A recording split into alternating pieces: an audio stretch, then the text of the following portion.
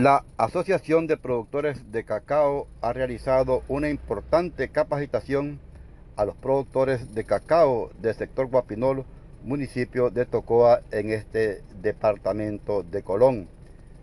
Las escuelas de campo este día llegaron con el propósito de enseñar el proceso de preparación de abono y así los cacaboteros de este sector puedan tener una mejor calidad y un mejor rendimiento en la producción de este eh, producto. Los productores de cacao mostraron eh, anuencia al proceso de... o otros elementos que ellos eh, generalmente consiguen, nosotros los mandamos a comprar ya esos sulfatos de ellos, a marcar a La Paz. La empresa se llama Consa. Entonces, la idea, como les digo, en la siguiente reunión, en la siguiente reunión, que va a andar entre la semana del 5 al 9 cada mamita. Sí, Del 5 al 9 de octubre, o sea, de esta semana que viene a la otra, vamos a empezar a preparar estos abonos. Nosotros ya en, en la parte allá del vivero, en Zamora, ya tenemos ahí lo que son los M&M sólidos y M&M líquidos, para que de esas dos fuentes nosotros ya podamos partir a, a producir cualquier otro tipo de abonos. Tanto abonos sólidos como bocachi, compostera, lombricompost, como para hacer violes o cualquier otro sulfato. Entonces, entre esa semana del 5 al 9 nos vamos a, vamos a convocarlos. Eh, ustedes están sabidos que hay dos grupos de productores para que no, la, aglomeración no sea tanto. Está tanto el grupo de Aminta como el grupo de, de Elder. Entonces, un día voy a llevar al grupo de Elder, voy a preparar ciertos abonos. El siguiente día va a ir el grupo de ustedes con Aminta y vamos a preparar los mismos abonos. La idea es que todos los productores y todos los que participamos en las escuelas de campo aprendamos lo mismo. Aprendamos a prepararlo. ¿Para qué y cuál va a ser el beneficio de esto?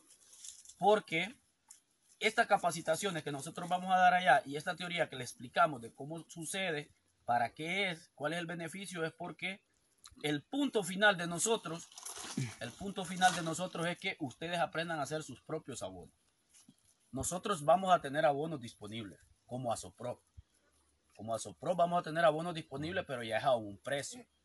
Pero si usted tiene toda su materia prima en su, lugar y usted aprende a cómo hacerlo, les aseguro que mil veces mejor lo van a hacer ustedes en su zona, van a tener su producto ya en su puesto y no van a tener necesidad de ir allá. ¿Me entienden? Nosotros siempre por X, Y razón y por todo y todo tenemos que tener allá elaborados porque siempre va a haber una persona que no se dio abasto o el tiempo no le dio para preparar su abono y nos va a ir a comprar. ¿Me entiendes? Y siempre va a ser parte de Asopro, como les digo. Pero la idea fundamental de esto es para que ustedes puedan aprender a elaborar sus propios abonos. Puedan aprender a elaborar sus propios abonos. Esta empresa Consa, en la que estuvimos sacando estos diplomados, que trabaja bastante con lo orgánico, ellos tienen, ellos tienen un folleto. Ellos tienen un folleto donde en ese folleto aparecen todos los, los productos o subproductos que ellos elaboran.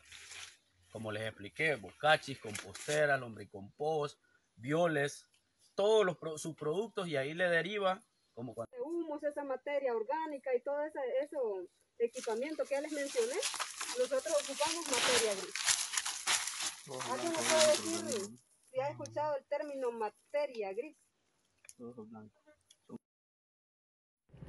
Cabe mencionar que la Asociación de Productores de Cacao está en constante capacitación a los productores de este rubro, especialmente en este sector del departamento de Colón, en los altos de la montaña de, la montaña de Tocoa del sector Guapinol, y que sin duda alguna vendrá a mejorar la calidad del producto y el rendimiento